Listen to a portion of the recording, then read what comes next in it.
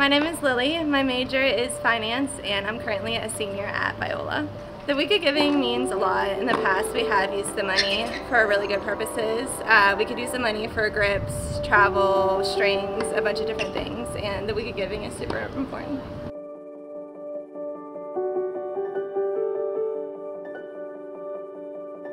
The theme for this week is flying forward in faith and we can apply this a lot by each and every day on the court and honoring God on the court and off the court as well. Thank you to everyone who has supported the team in the past and in the future. It means a lot to me and my team. I hope to see you guys out on the courts this spring. Go be you.